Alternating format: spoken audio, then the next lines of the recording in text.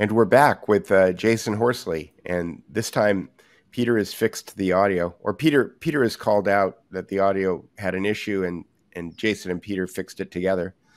And uh, so this is uh, Jasun Horsley on on Kubricon, uh, the Redux. Uh, it was funny when Apocalypse Now came out, uh, they called it the Redux, and I don't that that that name kind of got injected into the the Cinesphere. I don't remember another redo called a Redux. I'm not sure about you, Jasun. No, I don't know. I don't know what that was all about, and it wasn't uh, even as good as the the original Apocalypse Now either. So maybe we probably shouldn't use that term. No, yeah, well, per, per, yes, perhaps not. Uh, yeah, it's interesting uh, that it wasn't as good because uh, I have seen. I've. I'm kind of an Apocalypse Now nut, uh, and I have seen uh, the original uh, studio release version many, many times, and I did see the Redux, and I didn't get it. I didn't. I, I, you know, the French plantation scene and the the Playboy bunnies and stuff. They, they didn't really add that much, and and it did almost cost uh, Coppola his marriage. I think. What the movie, the original movie, or the Redux?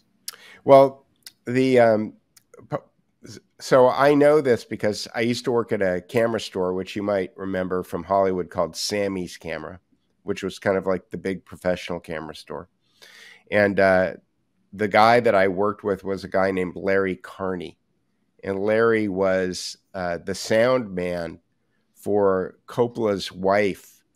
Uh, Coppola's wife was shooting the behind the scenes making of documentary uh, when uh, they were making that movie. And uh, so he told me the story that um, uh, at one point she knocked on the door of his trailer with a crew, with a camera operator and a and a sound man uh, because she wanted to surprise him and interview him about something. And uh, he was indisposed with one of the Playboy playmates uh, when when the door opened, and so that obviously caused a lot of um, yeah. problems on the on the set with the movie, with the Playboy bunnies, and all of that other stuff. And so um, a, a, large part of the Playboy bunny scenes that were filmed didn't make it into the final cut, and I Larry thought that that was probably part of part part of his trying to save his marriage. I see, I see. well, he said that the man who made the Godfather movies died in the Philippines jungle, not relating to this incident, but just to how harrowing the whole experience was. And of course, movie history in quotes has confirmed that, as in Coppola never again made a movie of the standard that he maintained in the 70s. So that would explain why uh, the Redux. I mean, anyone could have known, including Francis, that the Redux was going to be worse because he wasn't the same Francis Coppola. Clearly, he didn't have the same, you know, uh, aesthetic judgment. Anyway, we're talking about movies in a very conventional way. Indeed. Indeed, and so maybe we should dive back into the whole Stanley Kubrick of it all, and and your thesis for people who didn't watch the first video or who, who couldn't hear the first video. And uh, for people who haven't read the book yet, which I highly recommend, Kubricon, uh, uh, Jasun's uh, thesis is that uh, not only are Stanley Kubrick's films part of some kind of uh, global mind control operation, but the but the concept of Stanley Kubrick as the genius filmmaker that all other filmmakers should emulate is also part of that uh, psyop, um, and uh, that kind of dovetails neatly, I think, with a lot of uh, Michael Hoffman's hypotheses about the kind of uh, global mass mind control mechanism that that Hollywood seems to be. Mm. Um, it's interesting because uh, I was I was taking notes. Let me see, um, and and I, I, thought that a good place to start would be. I'm looking at my notes now. Uh, was the was the whole idea of myth makers? We we were talking about apocalypse now, and uh, apocalypse now uh, you know, famously uh, uh, was a project.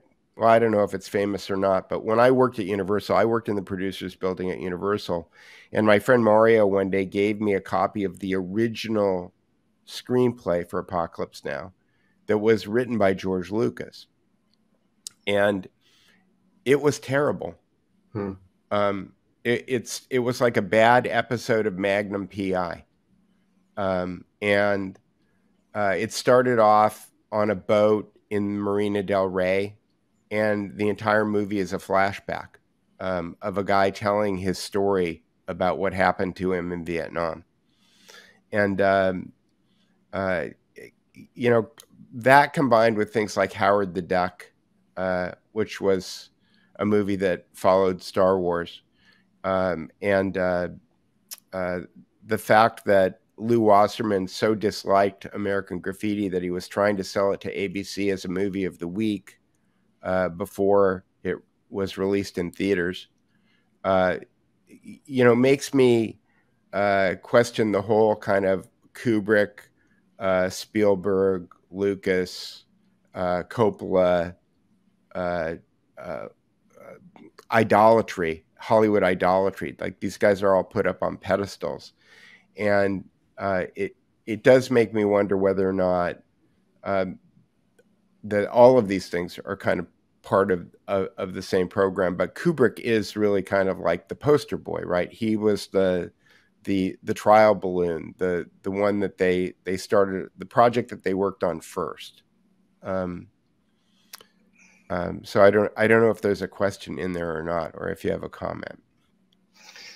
Uh, well, starting with your um, summation, I initially I was relieved. Oh, good, he's gonna he's gonna sum up my thesis, so I don't have to. But and I still don't want to uh, because it's well, that's why it hurts, right? That's why authors write books, right? So that it's down, and then they don't have to memorize all that stuff, at least some of us. Uh, and it took, you know, 60,000 words to really unpack it. You know, it's a very complex thesis. Uh, and uh, last week we talked, uh, not last week, but last time we spoke, we talked about, I talked about um, trying to bridge the gulf between the popular view of movies and cinema and the almost equally popular but opposing view uh, of it being a big mind control thing. I mean, I don't know if it's not really equivalent in popularity, but in today's you know post YouTube culture, it's certainly got legs. I mean, there's probably millions of people who know what you or I mean if we say Hollywood is a psyop or a mind control operation, or think they know what we mean.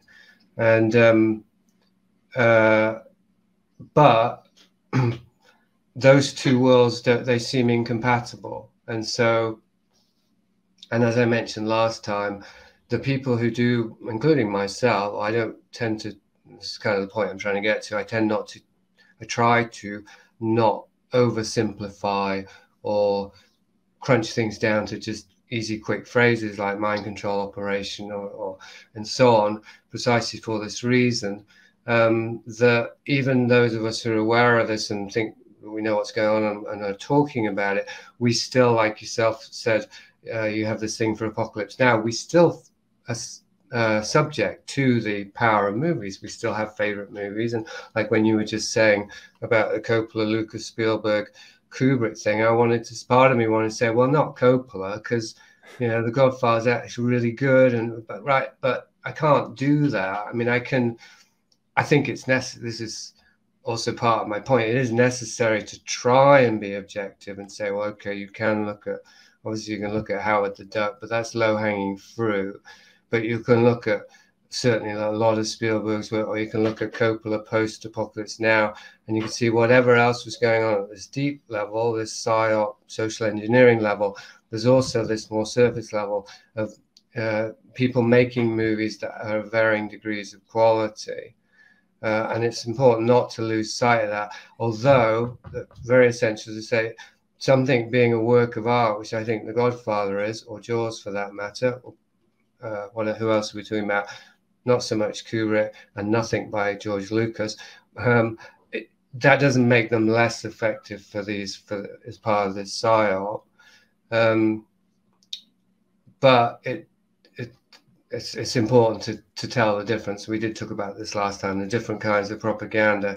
So anyway, about the summing up the Kubricon thesis, um, although nothing you said, and it was you gave a soundbite, did I disagree with? Because I I think I know what you mean by those things, and Michael Hoffman, I think is, from what I know about his work, is is good at what he does and probably right about a lot of it. Despite all that, Kubricon, in my view, is a book that's written in such a way that even a um, Kubrick scholar or somebody who's ensconced in the ordinary view of Kubrick might at least get to the end of it. I don't think that they would be convinced because I think that's, that's a bridge too far.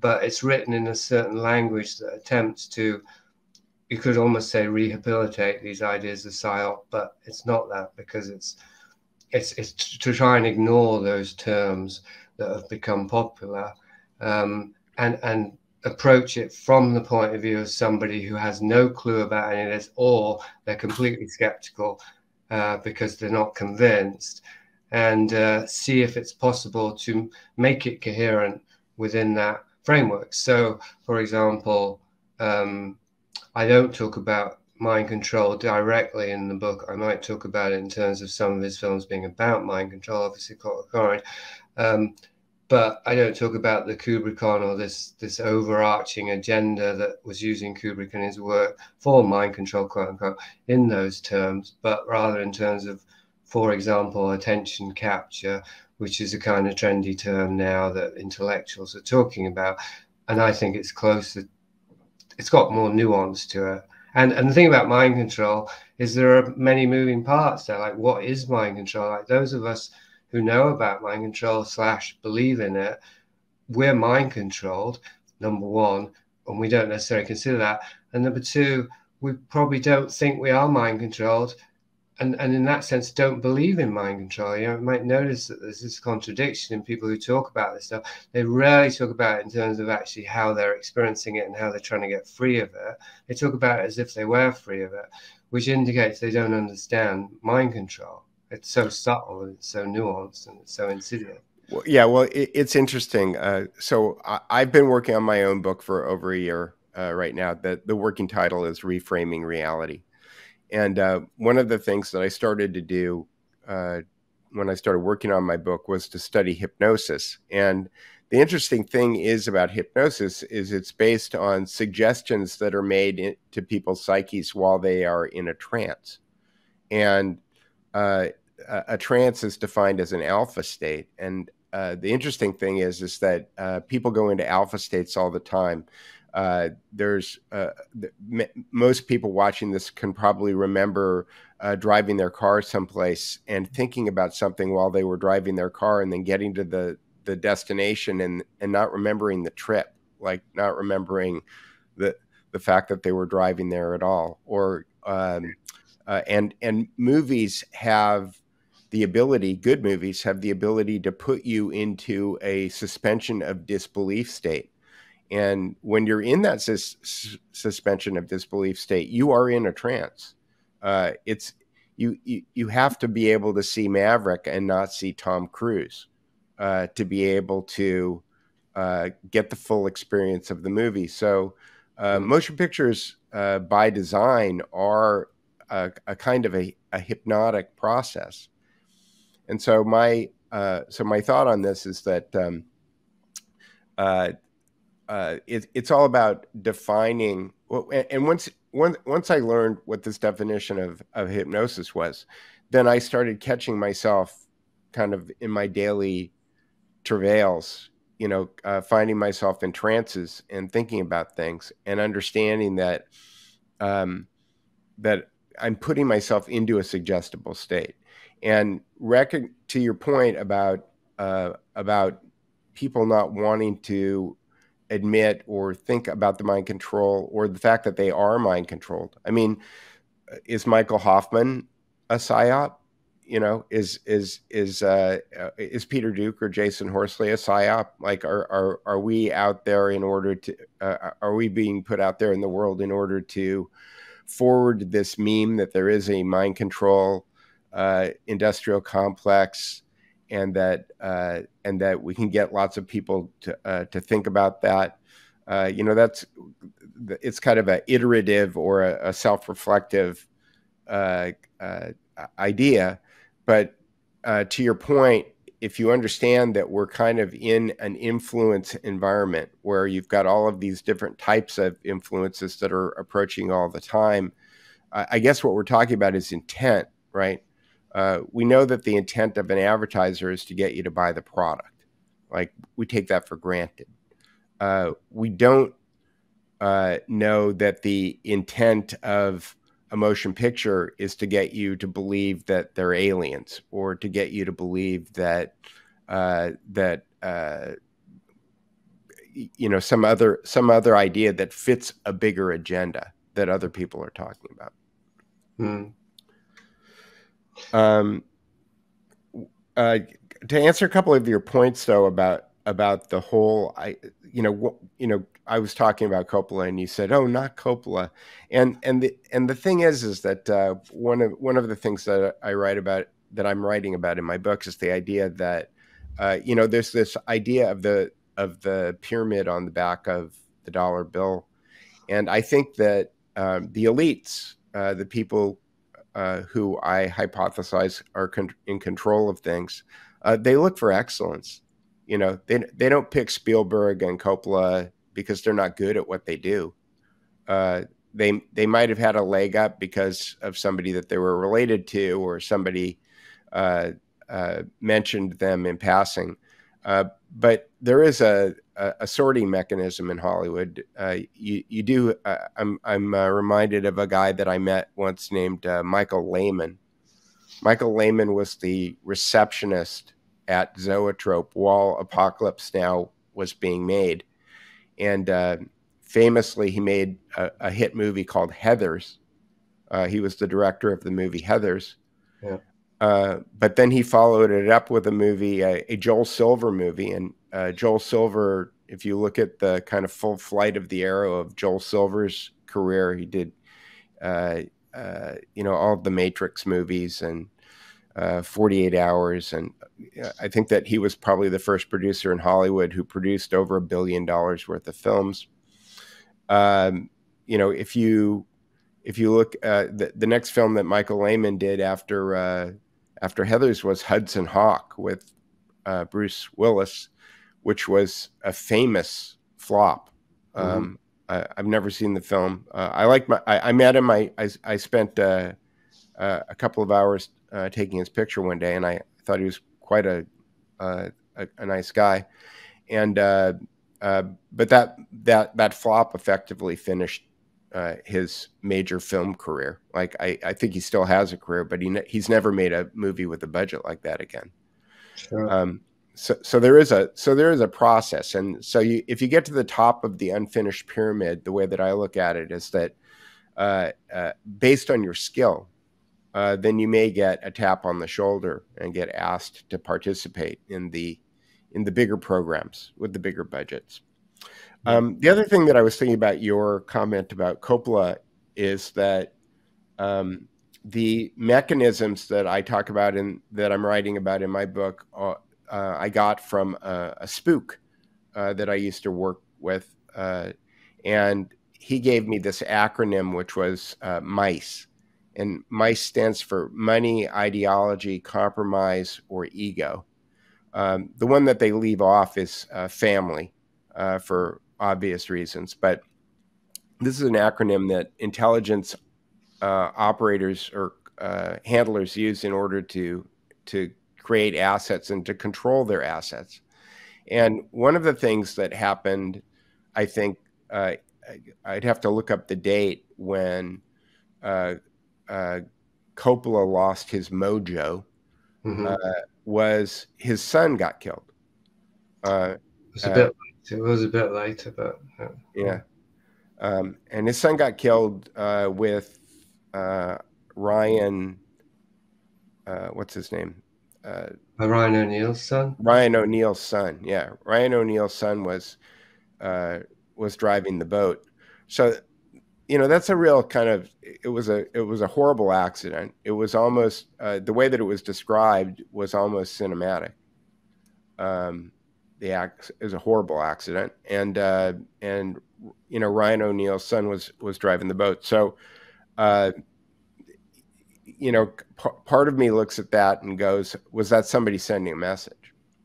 Sure. Right. Um, and and I don't I don't know that that I don't know that to be true, but those are the kind of questions that go through my mind now. Because once you have the mice framework in your head and you're going, well, is that money? Is that ideology? Is that some kind of a compromise? Is that ego? Mm-hmm. Uh, uh, what is it? And and that's usually the answer when somebody uh, has one set of behaviors that uh, has some kind of an inflection point and goes off in another direction um, my thesis is that uh, there's usually uh, some kind of component of mice or or family that's being applied at that point. Sure, sure. Well, um, one of the problems, I mean, maybe the central problem for me, the risk of repeating myself, is is that um, how much do we have to uncover here, prove to our own satisfaction, or speculate about before we'll turn away from the spectacle and stop in different ways investing in it. And I presume because by looking at myself and observing my own internal responses and my own continuing habits, like I'm still reading about Hollywood because it's a habit. Like a, a lot of those books behind me are about Hollywood. I just read a biography about Robert De Niro. I got no reason to read that biography, although actually I did find it. I mean, maybe there was something useful in there in a way. I'm talking about it now, but that's certainly not why I was reading it. I was just reading it because you know most of the time I'm reading about the Bible and I'm doing some deep stuff. But I do like to do light reading because I find it relaxing and entertaining. But I also find it energetically draining. Um, and the reason I'm bringing it up is is um, because of this like i'm still after all of this i've still got this fascination for hollywood which is actually i presume in fact i know and anyone who reads 16 Maps of Hell will have a sense of this or listens to the audiobook that my fascination in to some degree has been compounded by the growing awareness that what's going on in Hollywood isn't what it seems. Uh, and the reason isn't just that it's fascinating to read or think or talk about Hollywood and what might be going on and speculate and look for clues. It's not merely that, or I don't think it's even primarily that. From my point of view, it's that the cognitive dissonance remains that I can, I, I there isn't much dirt on Robert De Niro, but I remember reading on that Crazy Days and Nights site that during some of your viewers may know about. Do you know about that site, by the way? Crazy yeah, I, I, I do. I have a I have a friend who sends me screenshots of it regularly. okay, but you still get you know there was a rumor that it was Robert Downey Jr. and whatever. I don't suppose it is, but whoever it is, uh, I don't know how reliable it is. But anyway, just an example. I mean, I did. I think I I referred to it a little bit around Kirk Douglas and the alleged rape of Natalie Wood, which I think is pretty much solid from my impression, it seems that it's backed up by family members and stuff sufficiently that I included in 60 Maps Hell. Around Robert De Niro's the idea that he and Scorsese were having sex with, with very young girls around Taxi Driver, um, which seems perfectly plausible. They were certainly in that world, and they could, you know, you know, we know that De Niro is a very thorough method actor, although Travis Bickle didn't actually have sex with Iris. But anyway, that that that's one of the only things I remember uh, coming across about Robert De Niro, uh, but then I haven't looked for dirt. But but the point I'm trying to get to is is that I keep returning to this. We could say my own vomit um, around this because because I um, I haven't really reconciled it. I haven't really reconciled the tension between the two uh, points of view. Primarily, I presume, because the the the, the original viewpoint that Hollywood is a place that creates great movies. That okay, it's corrupt and there's bad things go on there, and so and the artists end up not a shadow of themselves. You know, even as a teenager, I would have started becoming aware of that. Uh, but essentially, it's what it seems, and th- th- that viewpoint was one that I I developed very early on. You know, in my adolescence, even pre-adolescent. So, so the, the, things that the the points of view, the perspectives, and the beliefs that we adopt at a very young age, they're hard to get rid of. Like one can spend decades actually um, trying to undo them, but because they went in at such a deep level, we might not be successful. So um, I, I don't know if this is exactly where I was going, but this is why I keep kind of talking about it in this indirect way, because I think we can talk about examples till the cows come home, but that people need to realize again, it's like back to the mind control. The way mind control controls us, it's not the way we think it is. It's we let it in and we think it's something good. And because it's controlling us, we still think it's something good. So so we can talk about mind control, but then the examples we'll use will all be things that actually aren't personally directly controlling us not really like you could talk about military propaganda in the movies, for example, but most of the people talking or writing or, or making move documentaries about that, they didn't end up, you know, jingoistic military uh, advocates, right? They're, they're immune to that particular. Or, or, or maybe they did. I mean, the, you know, famously, I think Top Gun, uh, the the United States Navy basically uh, uh, shelved its marketing budget for new recruits for a couple of years after the first Top Gun movie came out. Yeah, no, I'm not uh, saying it doesn't yeah. work. I'm just saying yeah. that people like Matty Alford, who I've actually hung out with, because uh, he's British, um, and Tom Secker, you know, the guys who are looking into this, there's this documentary, Theatres of War, that somebody mentioned in the comments to our last chat. I haven't watched it yet. Uh, those people probably went, you know, they went influenced by Top Gun. They probably thought it was a pile of shit when it came out, as I did. Um, so it seems more, it would be more relevant if those people were researching the propaganda as I've done that's affected them, which means you look at your favorite movies. You don't look at the ones that are, that are more obvious. Um, yeah. Right. Well, well, I, I, I, and I have been doing that. Uh, I don't know if you follow the work of uh, of uh, Alison McDowell, uh, but you know she started off a couple of years ago just wanting to research uh, uh, technology and education. And yeah, I did. I, I was yeah. getting confused with Andie MacDowell, the actress. Yeah. I talked to Alison for a podcast. Yeah, yeah. So, uh, uh, you know, and she. T- I'm trying to remember what the point was that I was going to make about Alison McDowell. Oh, um, tech, no, it's but something else. I, I, I, it, it, it, will come back to me. Uh, the other thing, if I talk about this other thing, I'll remember what I was going to say about Alison McDowell. Uh, oh, about our favorite. We were talking about our favorite.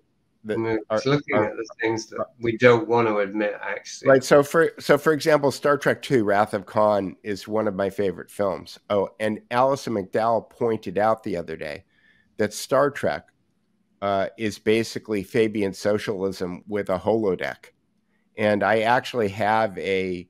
Uh, it's it's right up there. The it needs a new battery, but I I have a Star Trek two Christmas tree ornament, and when you push the button, it's Kirk and Spock, and uh, and they're talking about how uh, the good of the many is better than the good. It, sometimes the good of the many is be, uh, uh, worth sacrificing the good of the one, or I, I can't remember. It's Marxism basically it's it's it's it, it's uh, Kirk and uh, and uh, uh, and Spock talking about Marxism. Now, the where where somebody might argue that in that scene, uh, Spock has volunteered to give his own life in order to save Kirk and the ship, mm-hmm. but but but in reality, is that really a choice? Because if he doesn't do it, they're all going to die anyway, right? right. So so, uh, uh, uh, so when Alison uh, when Alison said that uh, Star Trek is just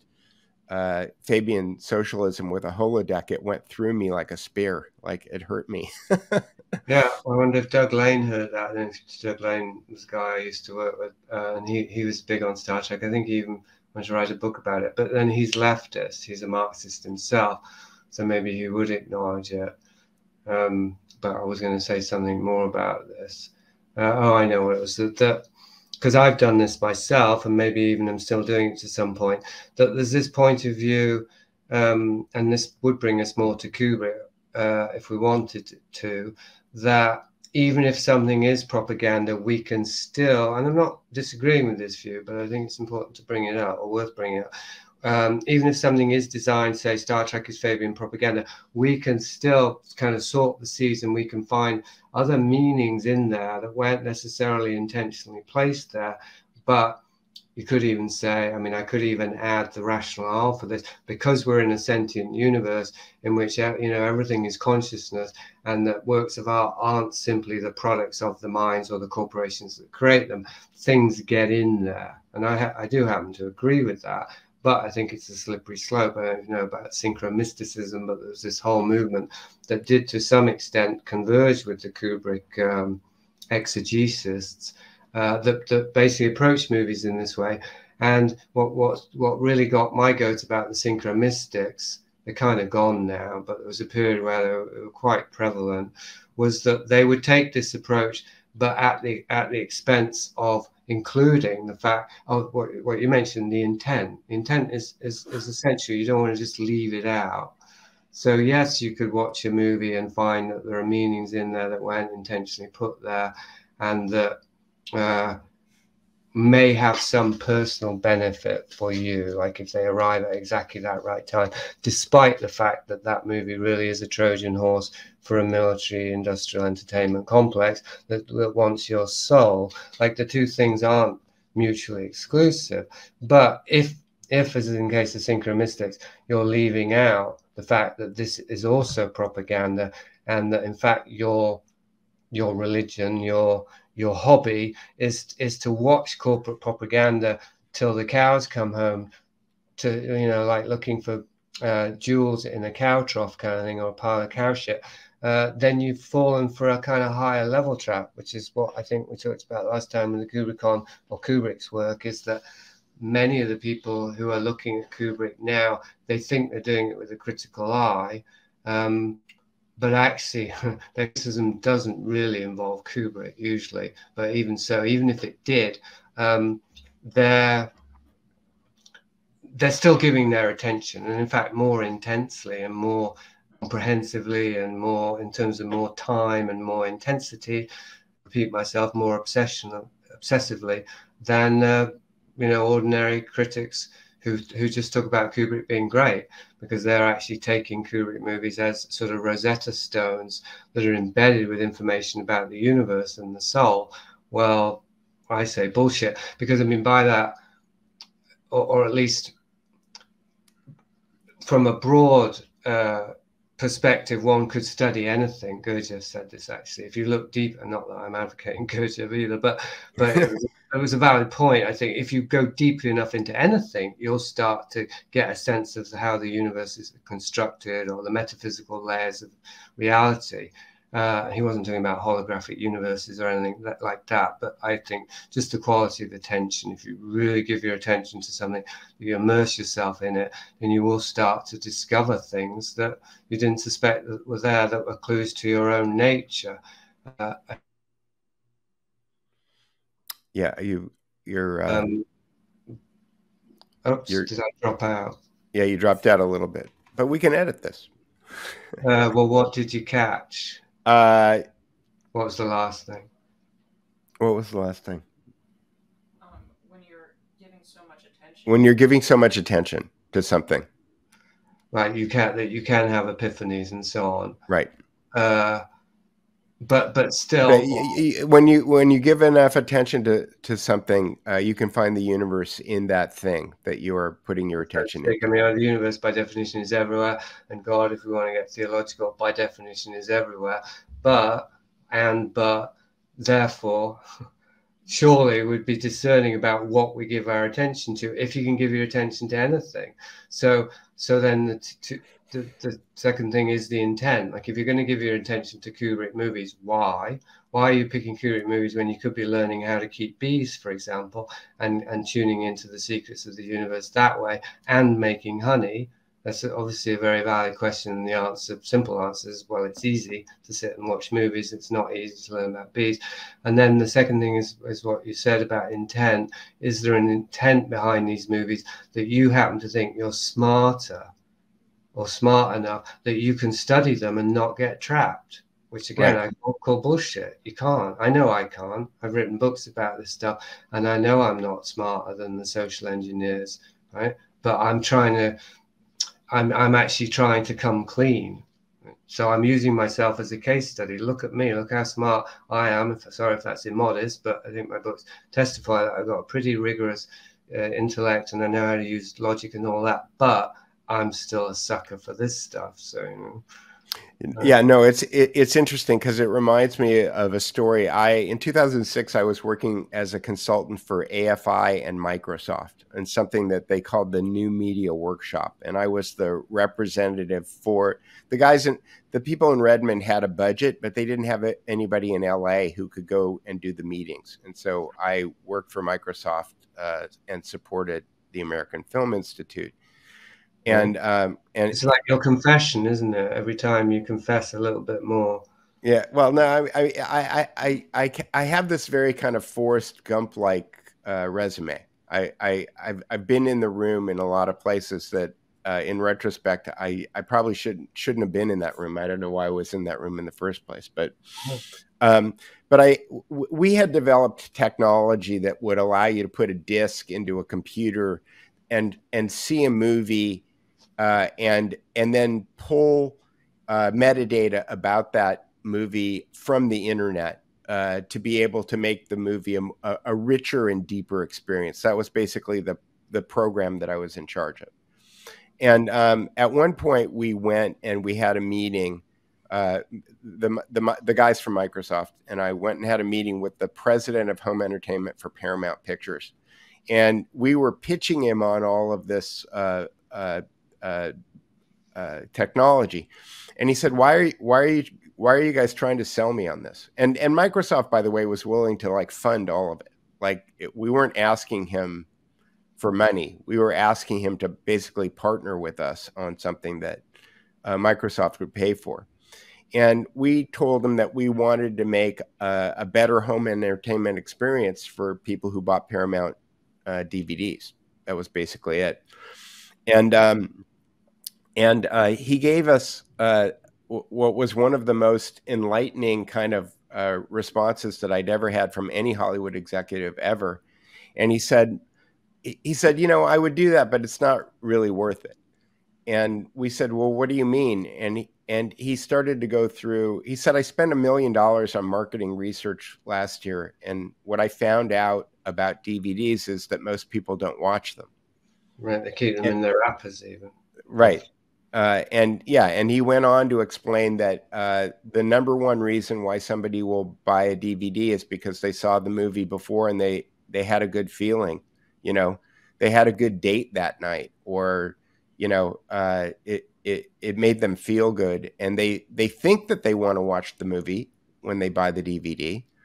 Um, but they take it home and they put it on the shelf. He said a lot of people like to impress their friends with the movie, with their repertoire of movies that yeah. they uh, and so they like to have those things on the shelf and he said uh, so people will buy dvds for a lot of different reasons uh, but watching them uh, doesn't seem to be the most important one right. and uh, and and that kind of that that was another kind of like uh, moment where i'd spent a you know we had spent obviously a lot of money and a lot of time coming up with what we thought were really good ideas for people who liked movies and the guy who was in charge of selling the movies to the public d- didn't think that people cared.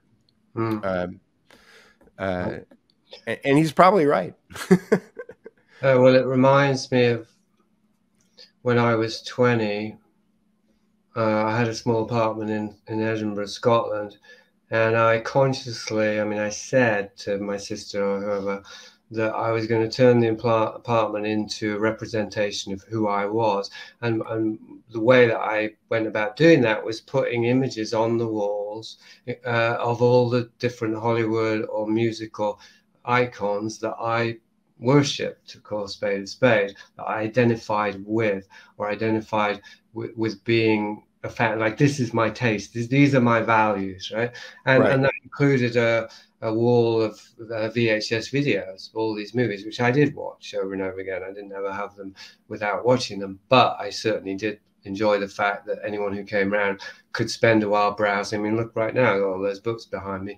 I didn't do that deliberately. I just ran out of space. I had to put those books there, and I figure it's a reason. I, I have a, I have a shelf here with books on it that wasn't in the last conversation that we had.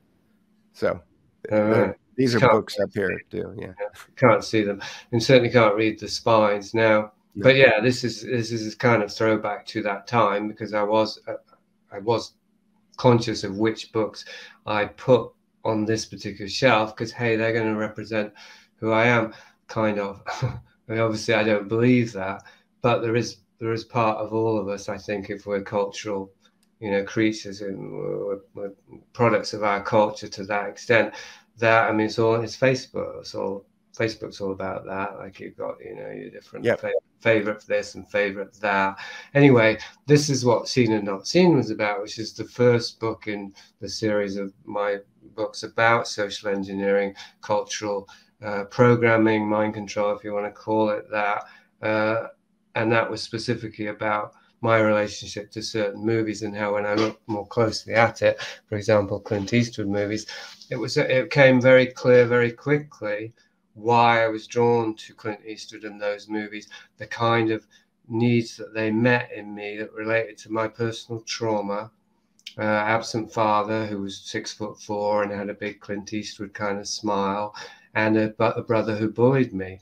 And you know, Clint Eastwood obviously is a guy who stands up against bullies. He's there, he's tough, he's mean, dirty Harry, and uh, even Fistful of Dollars, like his first movie, he even intervenes to rescue a family. So it's really, it's actually quite clear, It was once I started looking at it, that my love affair with Clint Eastwood, which began my love affair with movies, it started with Clint Eastwood, um, was a, a direct uh, response to a trauma that I was unconscious of and therefore unable to address or heal uh, that Hollywood um, had exploited. Obviously, they didn't target me, but they, ta- you know, the people behind right, behind the movies, they know the kind of psyches that are out there. Yep, I think you talk about that in. Uh, I'm I, I've I've I've gotten a few more chapters into 16 Maps of Hell, and I think that you talk about that in 16 Maps of Hell. Um, at, uh, at at one point, again, I, I, a lot of my experiences that I have is because I was a photographer, and at one point I was working well, I had a lot of friends when I, when I lived in the apartment on Poinsettia Place, uh, and my uh, roommate was friends with Quentin Tarantino and uh, Lawrence Bender. Uh, you know, there were there were there were a lot of you know different influences that came into my life, but I was a photographer at that point. I was a hustler, and one of the people that I worked for ran kind of there there were acting schools that I knew of. Uh, I, I, think uh, the Baron Brown studio, Joanne Baron, is kind of famous for uh, being the uh, the uh, the acting coach for a lot of people who've won Academy Awards, and all of the people in my personal sphere were in this Baron Brown kind of acting uh, school sphere. Uh, but there were other acting schools, um, and I used to make a living uh, shooting headshots uh, for these acting schools that would basically take anybody that showed up in Hollywood that said that they wanted to be an actor. Uh, if they had a, if they if they could pay for the lessons, they would uh, continue to uh, take their money whether they had any skill or not. And and so I used to uh, shoot headshots. And I, I, didn't feel guilty about it because I knew that at least the person was going to get the best photograph that they could get. Um, whether or not they were ever going to make it as an actor, I, I wasn't sure. But uh, I was sitting in the office of this this uh, this acting school uh, one day talking to the woman who ran it, and she said. Uh, she said, "You know, there's something like a million people a year who come to Hollywood mm-hmm. uh, to make it, and most of them last a couple of weeks. Mm-hmm. Um, uh, but there's, uh, it, it, wasn't until she said that to me that I realized that there's an entire industry uh, in Hollywood that centers around the myth of Hollywood. So it centers around that kind of Grauman's Chinese Walk of Fame Hollywood, which is the tourist Hollywood, as, oppo- as opposed to the uh, Burbank, Century City, uh, Culver City, uh, production end of Hollywood, where movies are actually made, movies and TV shows are actually made, um, that kind of you know preys on that idea that uh, there there are lots of people who movies speak to, uh, who think that they are destined to do this because they have created such an emotional uh, uh, connection to it. Um, you know, I got into this whole thing. I got into all of this mind control stuff because I was I was a fashion photographer. Well, people in New York would have called me a clothing photographer, but I worked with all of the same people. I worked with the models and the hairdressers, the makeup artists, and I, I was wondering one day when I was pushing the button why, if I push the button one time, somebody will buy a sweater, and if I push the button another time, they won't. Like, what what what is it about me looking through this camera that is attached to that finger that's pushing that button that's saying, yeah, this is a good one. Yeah, this is a good one. Mm. Uh, you know, and that that kind of led me led me into this. But eventually, um, you know, before it was movies, for me it was fashion. Uh, you know, I always uh, the same way that you looked up to movies, I looked up to you know Vogue magazine and uh, the photographs that were the fantasies that were created for uh, uh, in still images.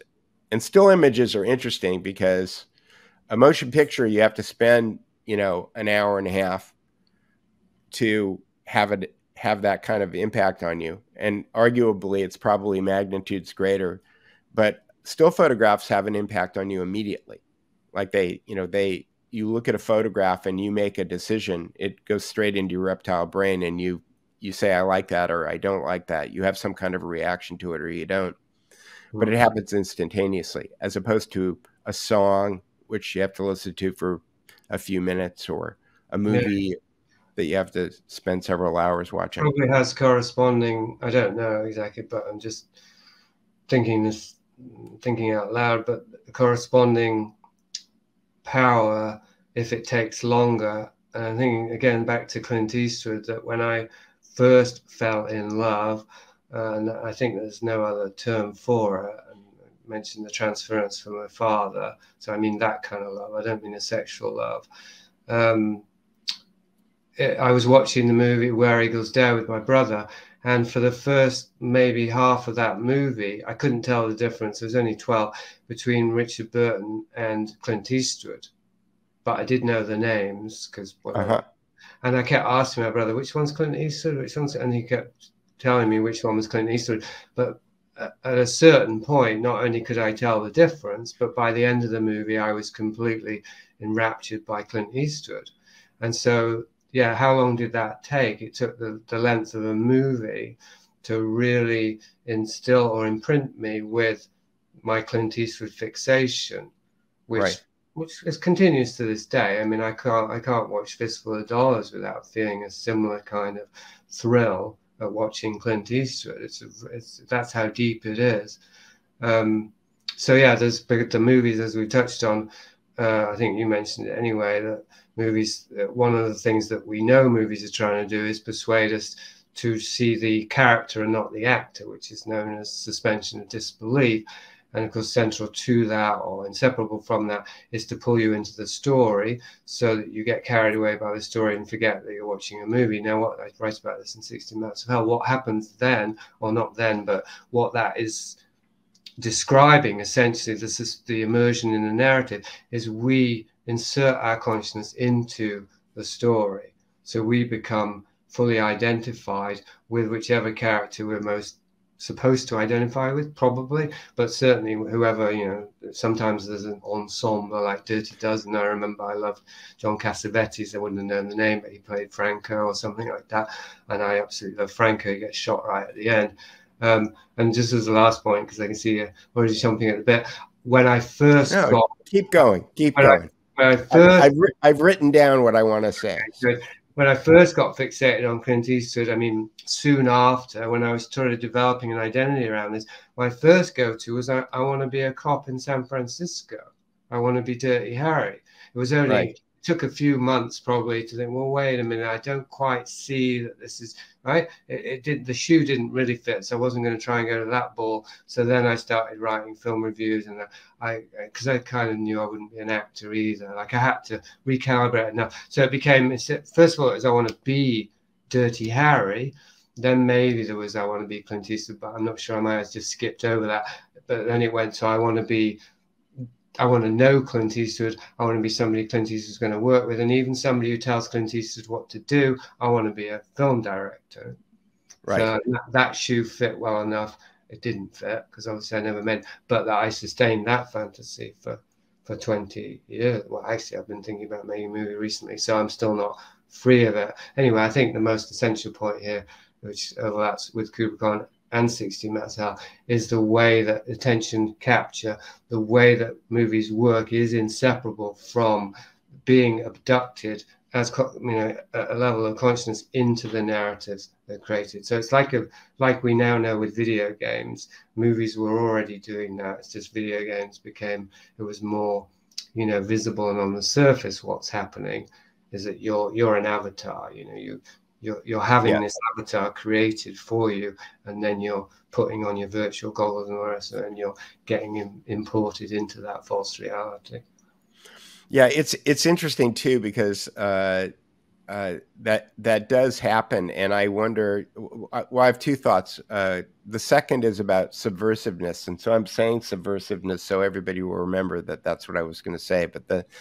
uh, the kind of sidebar that I wanted to start with is the idea that uh, it's interesting because there are certain actors, uh, uh, male actors specifically, uh, that are kind of famous for playing themselves. And I, I, think that Clint Eastwood is is kind of one of those actors where uh, I'm I'm not sure uh, how much you're seeing on the screen is actually acting or Clint Eastwood just playing that Clint Eastwood guy that Clint Eastwood always always plays. Well, his and, physical presence, sure. Although yeah, just, just, just the way that he presents things, and I'm I'm reminded of two stories. One is um, uh, Charlie Sheen uh, was making a movie that uh, Clint Eastwood was directing. I, I can't remember which one it was. The Rookie. Yeah. yeah. And was that written by Boaz Yakin? I think it might have been. I'm not sure um, uh, who's another guy who used to sleep on the floor with Lawrence Bender and Quentin Tarantino in my apartment. Um, but uh, uh, the Charlie uh, was a method. He styled himself as a method actor, and so uh, uh, he had spent a lot of time trying to figure out this character. And before they started shooting, he came into Clint Eastwood's office and he said, I want to talk to you. And Clint said, What do you want to talk about? And he goes, Well, I want to talk about my character. And uh, and Clint goes, Well, what what what do you want to know? And he goes, Well, I want you to know how I how you think I should play it, what you how you think I should do this.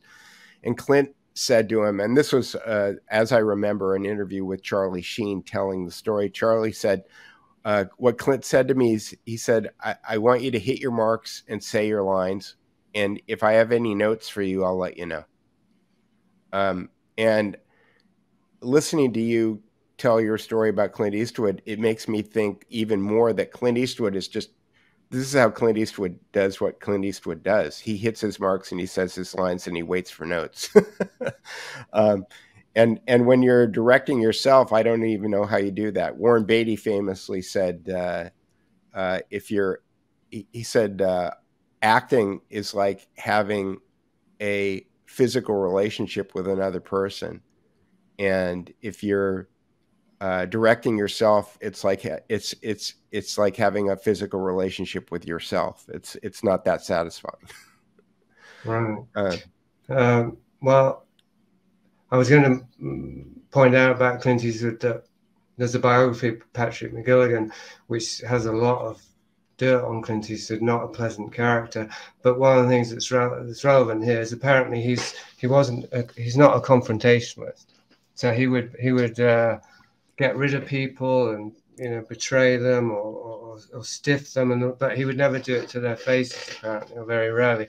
and that's actually the opposite of the Clint Eastwood. Obviously, Dirty Harry. Yeah, that's it. that that that is interesting, and I've heard that. I work for Spielberg, and I've heard that for, about Spielberg too. Like, if Spielberg doesn't like somebody on the set, he doesn't say anything about it. They're just not there the next day.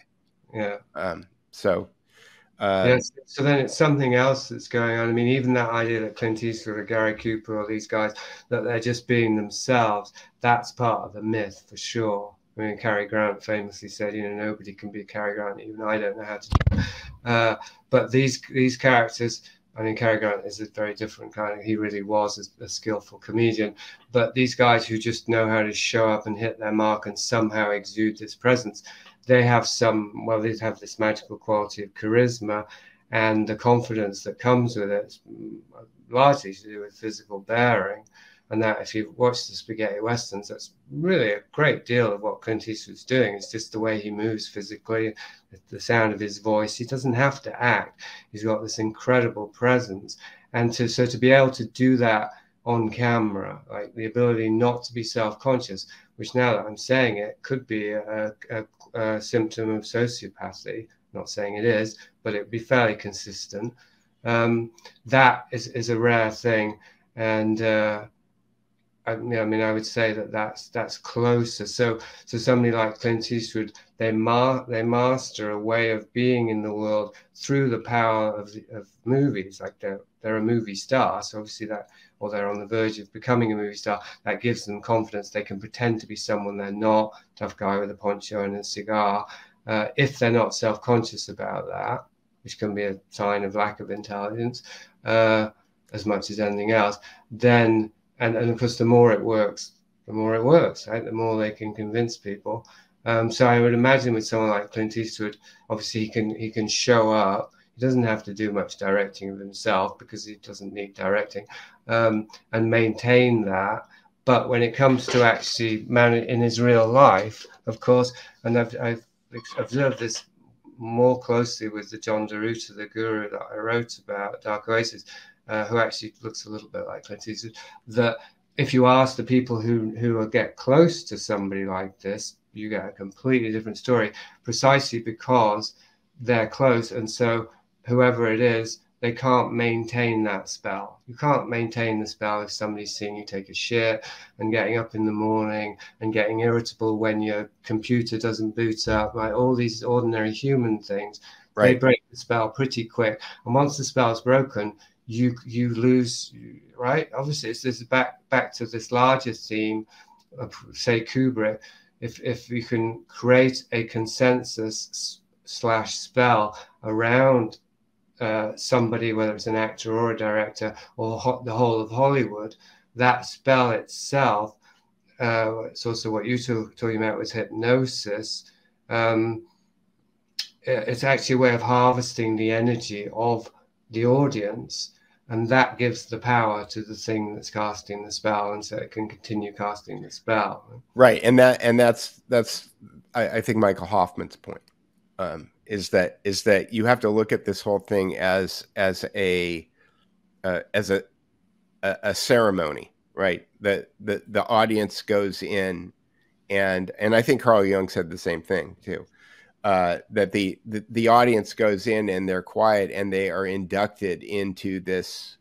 um, uh, spell, like you said, uh, uh, and and and something happens. And and to to bring this back to Kubrick, um, uh, one of the I I live in the Pacific Palisades, which I just recently found out was also known as the Weimar of the Pacific uh, because this is where all of the German communists who wound up affecting the Hollywood screenwriters wound up living uh, uh, in the 1940s when World War II started. So Max Horkheimer and Theodor Adorno and uh, Edward Marcuse. Uh, Edward Marcuse wound up in San Diego, but um, they were all here. Thomas Mann and Bertolt Brecht. Um, and and uh, one of the things that I've been researching lately is that it, what, that the big and Aldous Huxley, uh, who uh, who lives on the same street that Steven Spielberg and J.J. Abrams live on now. Um, Aldous Huxley. Well, he's dead though. Yeah, but I'm saying that he, Oh, lived, he did live where they now he, live. he lived where they live now, right? Yeah. Right. And uh, uh, and close to Tom Hanks and Matt Damon and and uh, Ben Affleck and um, but the uh, but the point that I was going to make is that uh, the uh, the thing that they seem to have done, and we talked about this in the last uh, in the last uh, uh, episode, was uh, that they created this sub- uh, this subversive cinema, and you famously you, you talk about uh, John Huston, uh, uh, where you basically cast good guys doing bad things or bad guys doing good things in order to create this kind of divi- divisive or uh, uh, I, I would argue that it causes a kind of a schizogenesis in in the audience, and bring bringing this back directly to to Kubrick and Spartacus. Spartacus to me uh, seems to be a recasting of the Jesus Christ story as a human. That is, uh, Spartacus, and, and- and there's a subtext to it, and the subtext to it is that slave revolts don't end well. um, and uh, you wind up getting nailed to the cross, and you may be resurrected and reborn because you had a child, and your widow gets to shirk off into the dark with your child. Um, but but there is no a kind of uh, Jesus Christ style redemption at the end of that movie, and it reminds me of of what uh, uh, I I hypothesize is happening with Shakespeare too, which is where you're taking you- you're putting people in situations that normally would have been relied on some intervention from a higher power in order for them to be able to come to terms with it, and instead uh, they are left to their own devices, and sometimes it works out, sometimes it doesn't. Mm. Uh, uh, but but there isn't a lot of divine intervention going on there, and uh, it seems to me that one of the uh, reoccurring themes that I see happening um, is this idea of uh, recasting. Uh, uh, I, I- think of Lolita, uh, which was another Kubrick film, which Lolita was a book that I loved. I, I have the annotated Lolita. I loved Alfred Appel's asides. I love all of the introductions of lepidoptery and butterfly hunting and all of the other stuff that goes along with it. But um, Lolita is a film that I don't think that you can make without a voiceover. Like it, the the first entire half of the book takes place inside Humbert Humbert's or Humbert Humbert's head, uh, and the reason that it's kind of a laugh out loud funny book is because of the things that he thinks of, which is not normally something that would make a good screenplay. It's not something, uh, you know, John Sayles famously says that you've got to think in pictures.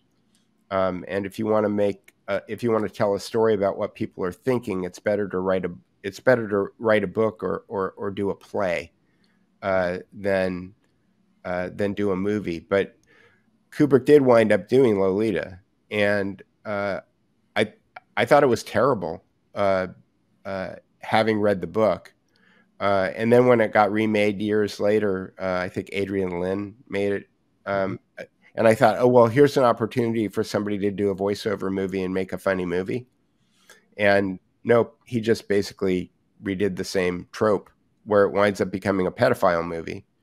Um, instead of a movie about the uh,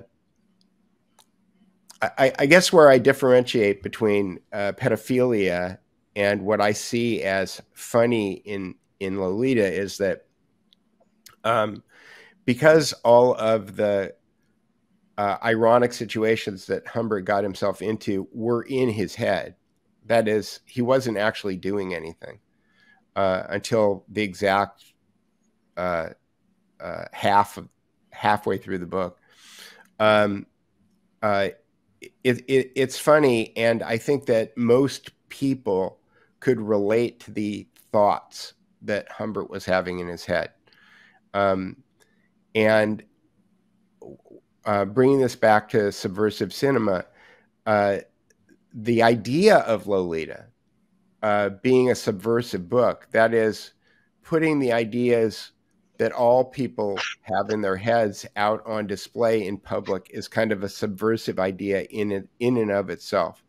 I don't think that it was done well in the movie Lolita, either one of the movies Lolita. I do think it was I do think it was a great book. And I do think that Nabokov may be the best American English writer out there. And considering that American English was like his fifth language, um, you know, it, it's interesting. But uh, bringing this back to subversiveness, it yeah. seems like there there is this reoccurring theme of trying to, uh, and we in Hollywood we call it the twist, right? There's always the the twist where it isn't it, it isn't this way; it's actually that way, and the and the idea I, I, guess the big idea of subversive cinema to me is getting people to doubt their own perceptions when they walk out of the movie theater.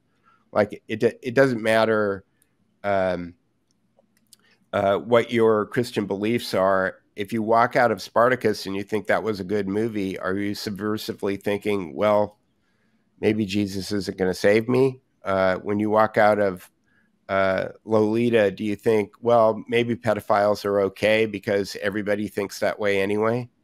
Uh, you, you, know what I'm saying? There, there, there are uh, really kind of uh, subtle meta uh, themes going on in, in, these movies that I think that do wind up. Uh, you, you know, you you put somebody into uh, a a trance state and then you make a suggestion it goes into their unconscious and that they may not even be thinking about it consciously later but it it may wind up having some kind of impact on them what do you think about that well i was trying to determine why you're talking how you're using the word subversive because initially because you were saying you admired nabokov it seemed as though you were using it in the more common vernacular that subversive art is good art, but by the end it seemed that you were talking about something that you didn't approve. Right, of. right. Right. Well, maybe Nabokov is one of those guys like you, like you are with Coppola. Maybe I'm. That's maybe I'm. Maybe I'm admiring something in Nabokov that I, uh, on in retrospect, uh, I shouldn't be because he's done such a good job with his craft uh, sure. that, I could yeah. go. I could. I was considering going there. It's very specific, but Vice of Kings, if you if you get to it one of these days, uh, has a chapter on Nabokov, not specifically his history, not but how it's in, well, it's in my pile. There it is. Uh, how well he and Lolita fit into the social engineering programs that I'm mapping there.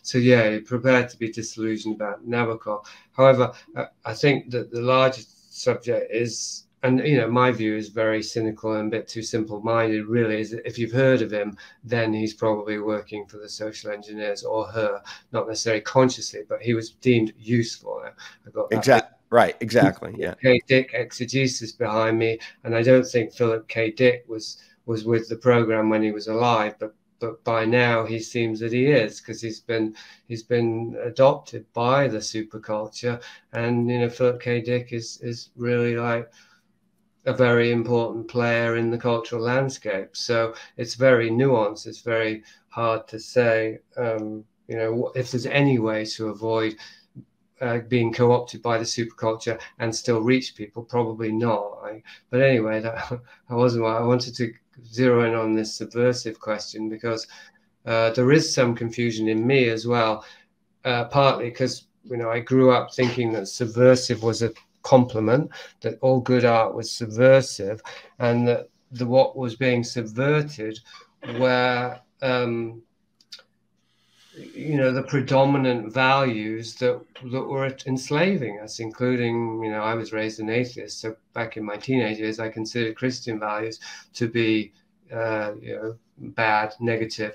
I certainly don't now but i still have um, this ambivalence about whether something can be subversive in a good way or not you know whether there's a, there's a place for subversion. And of course i think there is because we're in a satanic system so right we got to get out of it but so then the question is, what's being subverted? What's doing the subverting? Uh, what's the intent again? And what's being subverted?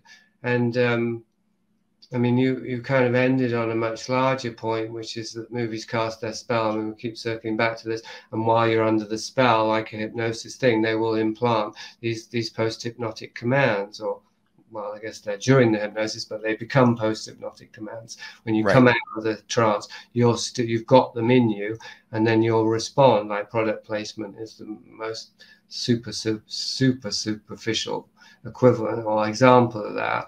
But there's these much deeper ones whereby, uh, as, as again, seen or not seen is very much about this. How many of the values that I adopted only semi consciously from my adolescence on, which is the period in which we um, consciously shape an identity. We're consciously trying to create an identity by identifying with certain figures, artworks, books, music, actors, etc. Um, uh, most of those values they did come from outside of me, or all of them really, uh, and and I can I can trace them. I can I can look back at that period.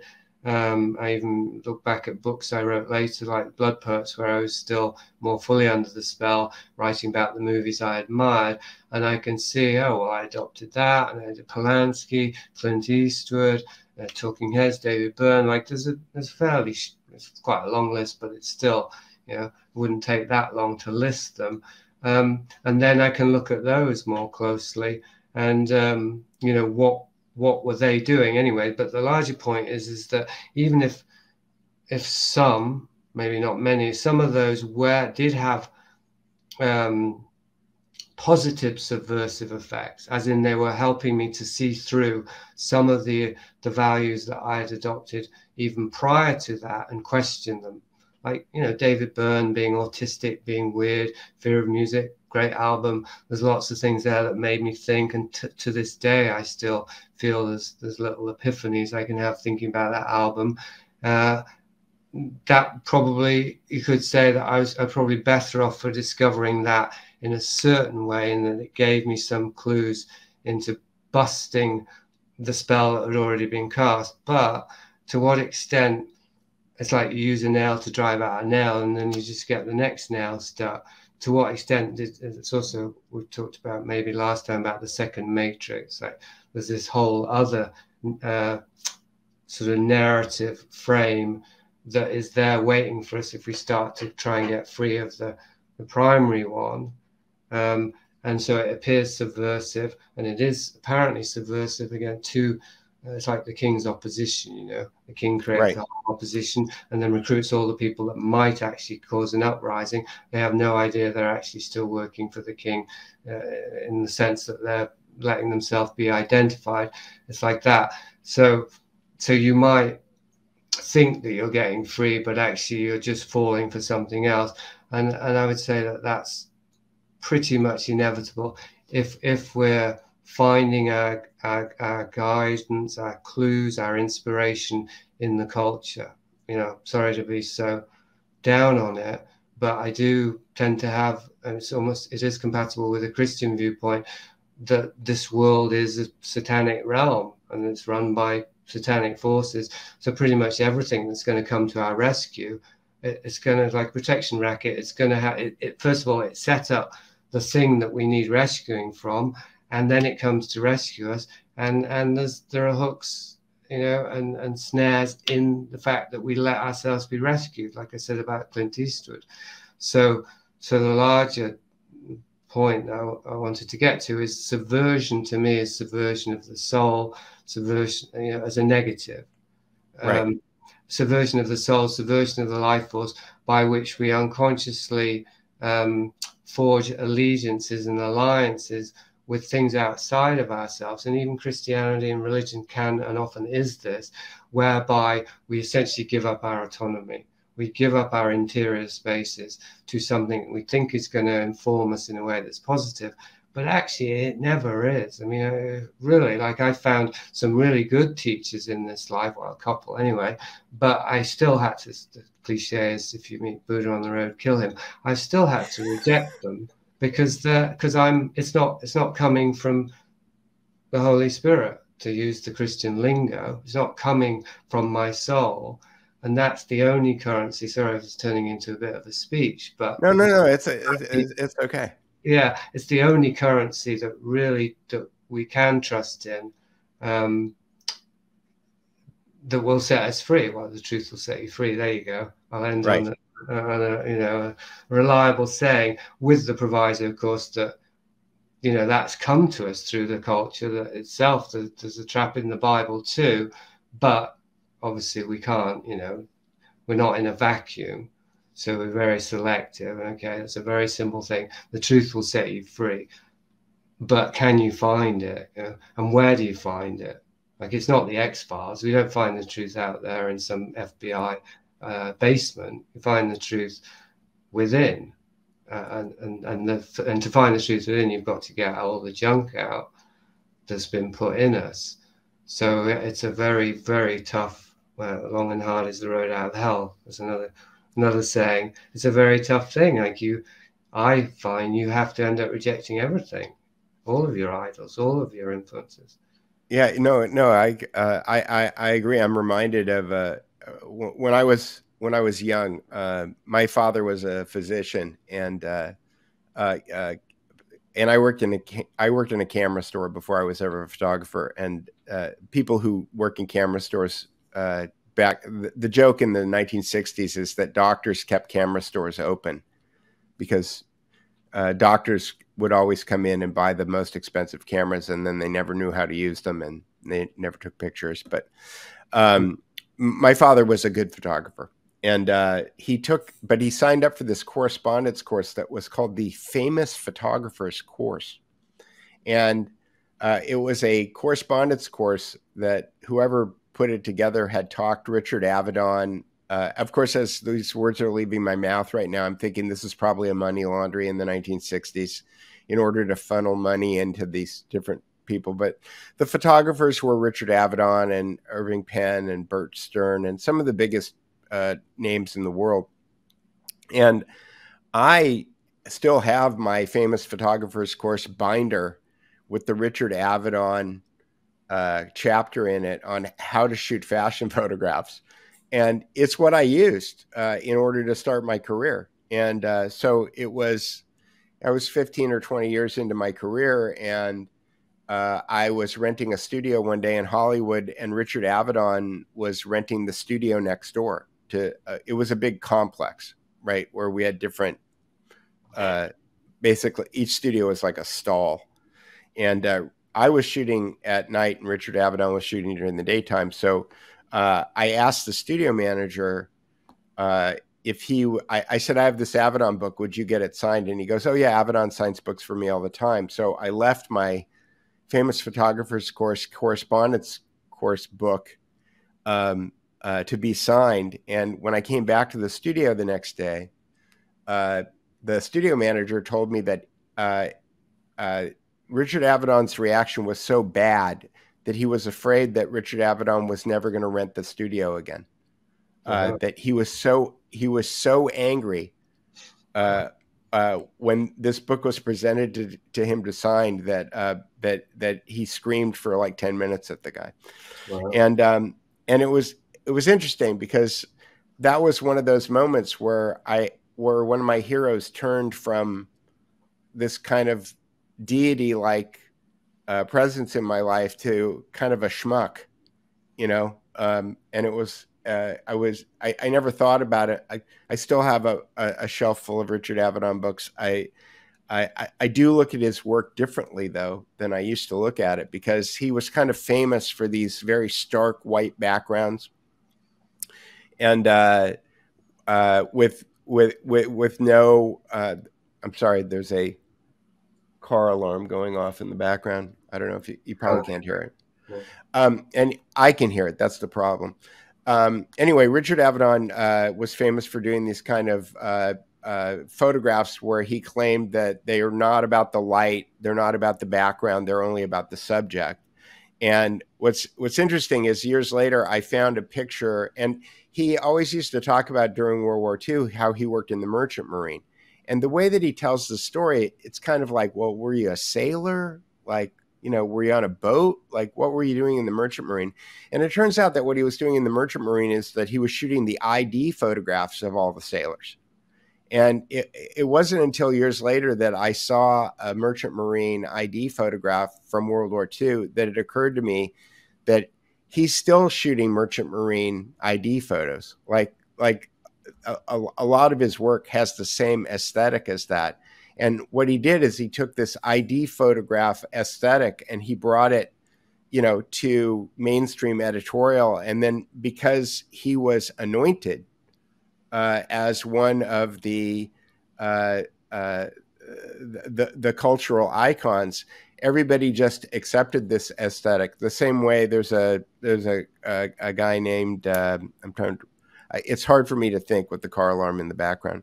But there's a lately in the last 10 years, there's been a, a, a type of fashion photography that has been uh, coined uh, porn chic, uh, which is basically the flash is on the top of the camera and the person is up against a wall. And uh, this was known in the 1970s as bad lighting, right? right? But but now it's chic because it's been anointed, you know. And yeah. uh, and, and so to that end, I I am also refactoring a lot of my heroes. I am refactoring a lot of the things that I thought of as being important. I mean, when I started taking pictures of people who had wrong think, um, the New York Times did a, a profile on me and called me the Annie Leibovitz of the alt right. The only thing I was doing was taking good pictures of people who they thought were bad people. Um, uh, you know, it, it, it, was a clue. It, it, it opened me up to, uh, to being able to understand that maybe some of the things that I had taken for granted before are, are not exactly the way they are. But to your point about bees, I mean, bringing it back to bees, uh, uh, uh, there is perfection. Uh, or, or, or, or, I guess wabi sabi. There is a, there is a the the attempt to achieve perfection in beekeeping seems to be a, a noble and laudable uh, uh, kind of uh, activity, uh, as opposed to trying to figure out what the most subversive thing that you can get away with is. Interesting. It dovetails with one thing I was just thinking about, which was, uh, was writer David Thomson saying that he was talking about somebody, I forget who, Charlie Chaplin maybe, uh, that he was a guy who would who who would do absolutely anything to get what he wanted. And then you've had in parentheses, um, which is as good a definition as genius as any. And um, so I was thinking about that, and I was thinking about beekeepers. Well, they don't get any credit. Like there are no celebrity beekeepers because I mean, there's nothing really. Uh, uh, well, maybe maybe maybe there, maybe there should be. Maybe maybe that's how we save the world is by creating celebrity beekeepers. Sure. Well, no, because it's like it's it's uh, like the whole thing of celebrities is the problem, right? It's part of the problem. Right, yeah. It's never going to be part of the solution. Um, uh, but this is to a point that I brought up last time, I believe it was, or maybe it was an interview I did since last time about Kubrick. That um, what was it? Now I've gone and I've, I've gone and lost it. Um, uh, well, I can I can talk about bees and and I hope it comes back. Uh, no, it's very, very close. No, no, it, it, it will come back. Did you talk to Alison McDowell about bees? Uh, no, because it's interesting because uh, uh, uh, jumping back to chap first Chaplin and then bees, but uh, uh, it's interesting because I was reading a book, uh, Orson Welles. I'm fascinated by Orson Welles because I think that Orson Welles was being groomed like Kubrick, yeah. but uh, and that I think that the uh, the Citizen Kane movie was basically, I don't know if it was Henry Luce or who was behind uh, uh, him being steered in the direction of making that movie by uh, by Mankiewicz. Uh, but that was a, I think that that movie was just a hit job on on uh, on uh, William Randolph Hearst. Um, but I was reading uh, something about Orson Welles the other day, and he was talking about how he was on the set with Charlie Chaplin because he was working for Charlie Chaplin doing something, and that uh, and that uh, Aldous Huxley and uh, Bertrand Russell showed up one day uh, on the set of a Charlie Chaplin movie, and I thought, oh, that's that's a very that's a very interesting group of people. um, but uh, so that was my genius comment, and bringing it back to bees, um, right. there was a book written by Kevin Kelly, uh, who was one of the original editors of Wired magazine. He might have been the founding editor of Wired magazine, and he wrote a book called Out of Control. And in that book, uh, he uh, he likens uh, the idea that the beehive is actually the organism, that the bees themselves are not the organism, that they're kind of a subset of the organism. And what I didn't realize when I was reading the book is that this is kind of like the scientific justification for communism, right? For that that the state that the state is the highest form of intellect, that the individual is not the highest form of intellect. Um, and I was wondering uh, uh, if you and Alison had talked about Kevin Kelly because she uh, she calls it the uh, mining our consciousness, using the internet in order to uh, uh, in, in, order to collect all of our behavior, in order to feed it into some kind of AI to create some kind of semi-sentient golem, as it were. Right. Uh, well, that's the Kubricon Kubricon thesis.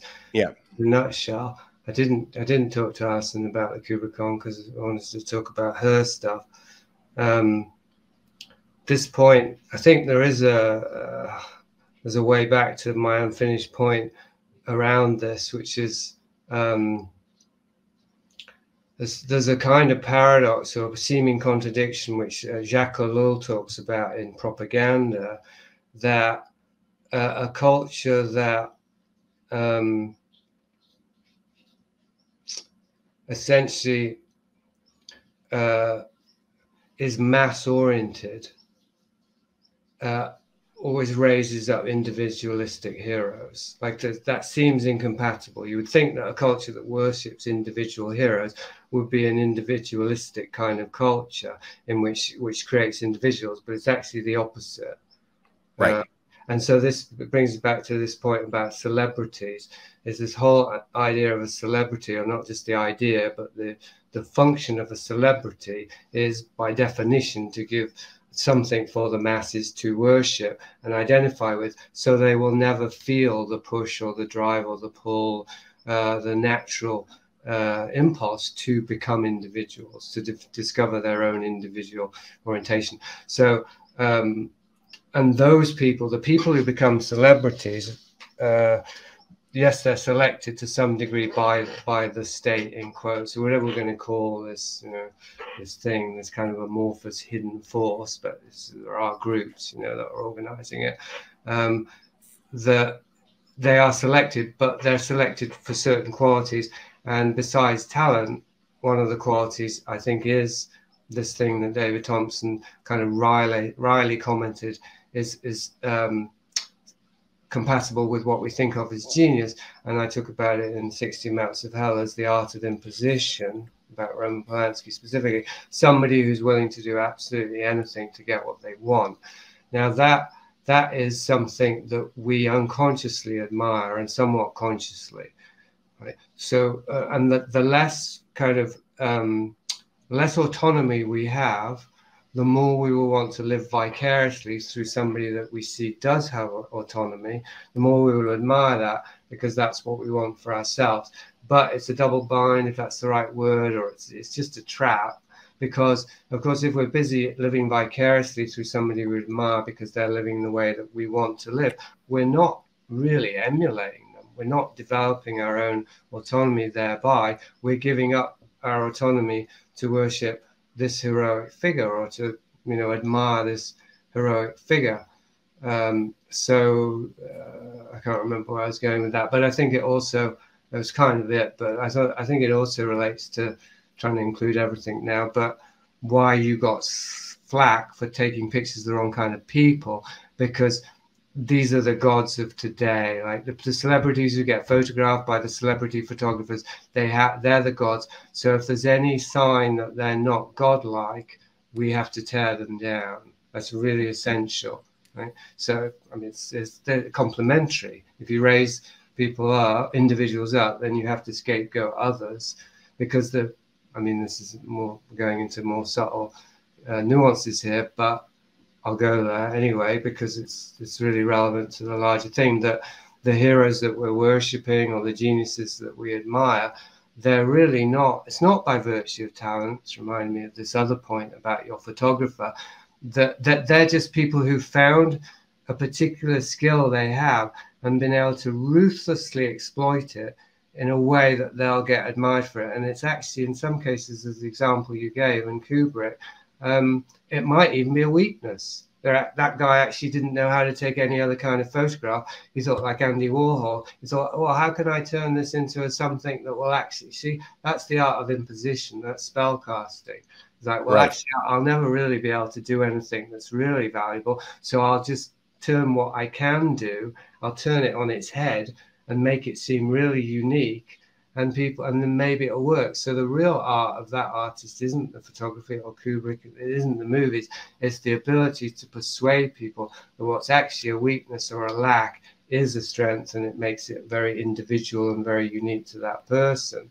And so then they've they've assumed through the art of imposition this power within the culture and then that's the thing that unconsciously we're admiring is that they've pulled this trick, they've got away with it. We want to do the same, but uh, well, we're, we're never going to do it as long as we're admiring this person for the wrong thing. We're not even going to realize.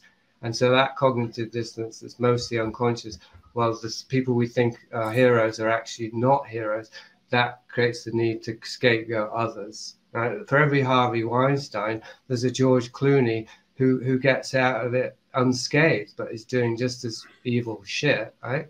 But you need to you need to burn Harvey Weinstein to make sure George Clooney gets away clean. It's it's just the way it maintains itself.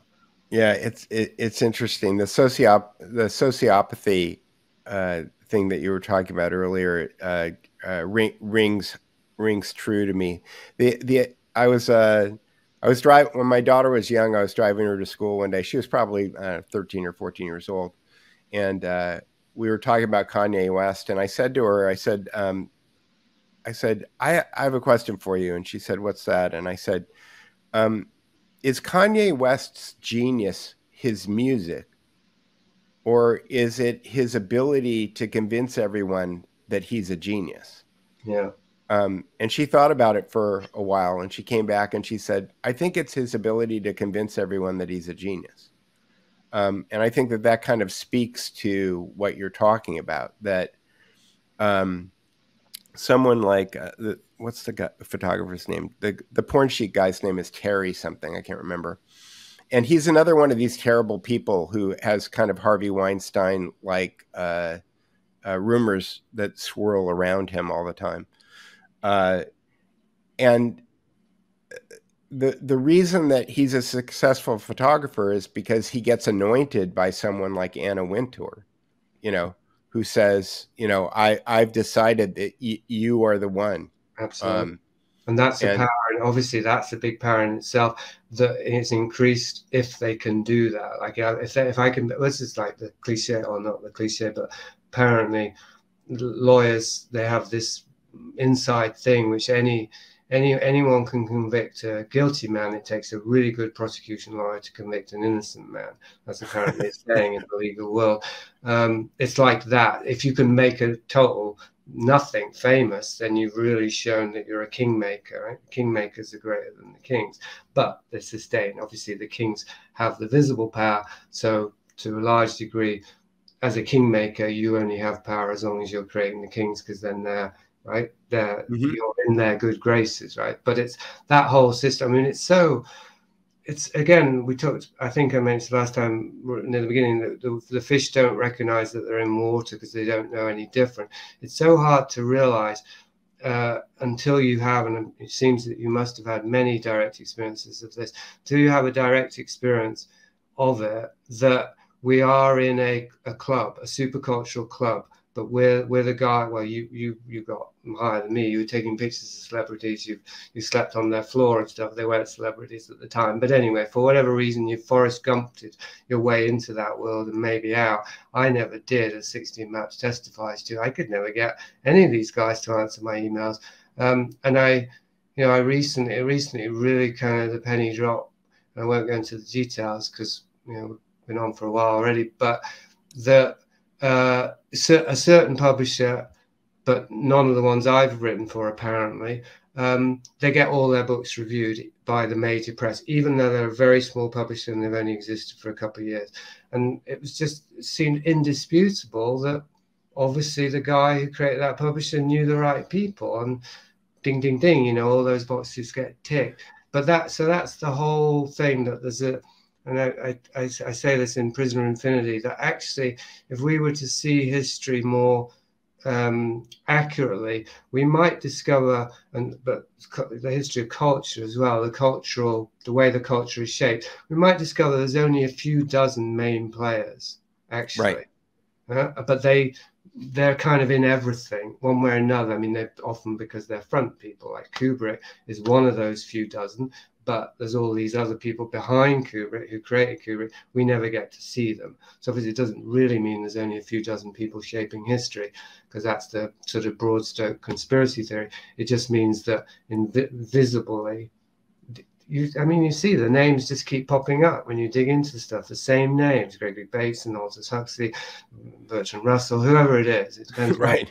Right? They just keep popping up, and they're but they're the famous ones um, and they're the king right right and the, and and the, and everybody's got a boss right so the people that they're that, that they are working for ostensibly uh, are invisible to most people well I, um, I would say the forces that they're working for are literally invisible actually at some point. Right. Yeah. Okay. I, I, I, I hear you, and uh, and and I uh, I agree with you. Uh, uh, but getting other people to understand that, uh, well, that's their journey, right? We we all have our own journeys.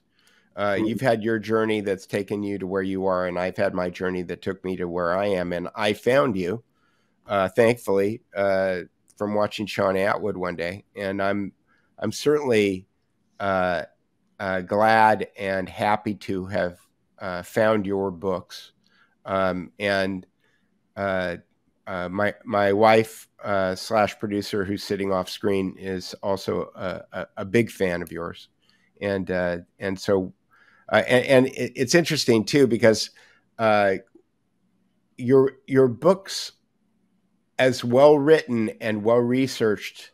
and as readable as they are, they do have a tendency to go into places that people don't want to go to, right?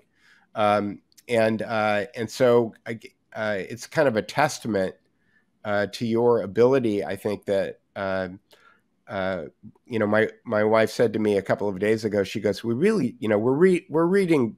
We're almost finished with." Uh, uh, a big book right now. It's actually two books by David Wemhoff called John Courtney Murray, Time Life, and the American Proposition. And it's about the CIA and Time Life's subversion of the Catholic Church by mm-hmm. David Wemhoff. And it's very good.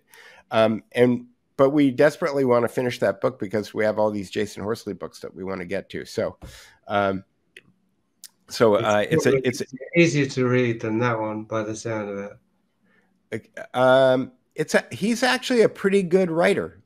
No, I didn't uh, mean just that. It just sounds like it would be a lot of well, actually, Vice of Kings is full of facts and dates, actually. But yeah, uh, I, I mean, I mean, I, I again, uh, the the the main player in the book is who's somebody that I didn't have a lot of visibility, didn't really understand how powerful a person he was is Henry Luce. Yeah. Um, who was the uh, the publisher and and creator of Time Life Inc. And uh, I have a I don't know where it is. Uh, it, it occurred to me the other day that um, William Randolph Hearst, getting back to my Hearst Luce thing, mm-hmm. that um, you know William Randolph Hearst was a nationalist. Like he did a lot of terrible things, but at the end of the day, he was an American nationalist, and I do believe that. Uh, if there's a thesis that I've got for why somebody like Henry Luce would want to take out somebody like well, William Randolph Hearst, is because Luce was essentially a globalist, um, and right. that uh, and that Hearst was a nationalist. So, hmm. uh, I think it's, least... a, it's, a good uh, general point that I'm going to extract from that is, is that really is infighting. Like there are there are kings and there are kingmakers, and they're not all on the same party. Not that it's political parties, but you know, different you know uh, cartels. Let's say there, there certainly is plenty of infighting, and we you know as on the sidelines we don't we have to just speculate, deduce, hypothesize, observe, you know, where that's happening, uh, as opposed to just assuming it's all. Because the, the, there seem to be shared agendas in the sense that uh, both or however many factions more or less want the same thing, but they want to get there first, right? So right, exactly. I, it's, it's easy enough to say that the world is run by bankers, but if you understand that there is a Rockefeller faction and there is a Rothschild faction, and that they uh, may all want the same end goals, but they want to be the one sitting in the seat calling the shots, then, then, then then a lot of this stuff is. Uh, I guess is, thank uh, God, thank God for us, because if they if they're united uh, it'd, be, it'd be even more formidable. I suppose. Ex- exactly, but um, but uh, uh, uh, to that end, hmm. uh, uh, uh, if you believe in Jesus Christ, uh, then there then there is a happy ending, supposedly. Well, someone pointed out our crosses. I was going to point that out as well during our conversation, but I didn't get to. But somebody in the comments mentioned that we both have crosses behind us um, that does remind me of where I was hoping to get with all of those points that I kind of spewed out at the last minute there, which was the soul. Um, and just just as a counterpoint, like why I think that heroes are a bad idea, including Jesus Christ, really. Uh, like as I said earlier, one can even one can turn anything into a trap and the Tao that right. can be named is not the true Tao, etc. Right? So, I mean, I have a picture of Jesus Christ on my wall, and it does testify to something, but you won't find me on my knees in front of it. Like I'm not that kind of Christian. I don't know if I'm any kind of Christian. I don't know, but uh, certainly it means something to me. But what it means to me primarily is. Uh, by the grace of God, there go we all. Like potentially, that is the that's the only example to follow and we can't really follow it again by looking outside of us. Well jesus isn't here number one. I mean he is and he isn't but you know what i mean? He's not he's not on the movie screen thank god. So so it's really the soul. although i think mel gibson's doing another oh god. Oh god. Yes, yes. Uh, turn away from the screen uh, yes. so, so, so, to me, that the the the unified um, goal of these forces of darkness, human and otherwise, is to um, provide a counterfeit, a counterfeit for the soul. So we look outward to these heroes, and we think we want what they've got because we don't really see what they're doing but the only thing that's we want to be great that was the thing i wanted to get to the the reason that we look to these figures and admire them and think they're great is because we ourselves want to be great, which is problematic. Because you could say none but God is great, but you could also say that it's it's also natural because we are great. We do have a connection to what that which is great. Uh, but the only thing, this is seen and not seen, that I had to find my way towards, and I had to, and, and in the end, I had to throw away Winnie the Pooh, even like as the first temptation as a kid, because all these things actually were counterfeits for the soul. And I've just been trying to get back to my soul, which is the only thing that will satisfy that yearning for a sense of wonder, you know, and of greatness. So, so that's why I say all of these things in the end uh, are distractions. Sorry to say, I've got all these books. I'm still going to read them, but really, my best days when I just go down to the lake here and, and sit in the sun and, and swim and get out in the sun, water, sun, water, look at the sky, and, and don't refer to anything except you know existence. That those are the best days. So, so I'm aspiring whether or not I ever have bees, to to to only rely on you know nature itself, physical existence to satisfy my soul, because then I think the soul really comes into its into its own. Because that's the thing that feeds the soul is is you know what God's provided. Culture, on the other hand, uh, yeah, it's uh, it's like Jesus in the desert. Right? You can have this, you can have that. Yeah, and Jesus like, sorry, I'm not. I don't. I'm, I'm hungry. I'm cold, but I'm not gonna. I'm not gonna take any of it. Well, um, uh, I, am I was going to say not only yes, but H yes, uh, but uh, I'm not. I'm reminded of an old uh, Mormon friend of mine who would say who would say not only yes, but hell yes. Um, but but, that's, but that's but that's probably not the appropriate answer. Uh, but it's the sentiment that I have, uh, which is uh, uh, yes twice uh, to what you're saying. Because I think that you know it's funny because I'm looking at my picture right now and I have all of the I have these Guy Fawkes masks up like as sconces as a LARP, you know. I have oh, yeah, yeah. Uh, I, I have the assault pitchfork, which is a pitchfork painted black because we all know that weapons that are black are more dangerous than other weapons. Um, and and then I have a photograph that I shot in the 80s of volleyball players uh, playing volleyball on the beach, and all of the the, the the things on my wall, with the exception of the cross, are either LARPs or hero worship, which is which is curious. You know, now now I have to go back and look at my decorations. But uh, uh, this this talk has been uh, fascinating uh, as usual, Jasun. I I really appreciate the work that you do. I appreciate the work that you're continuing to do.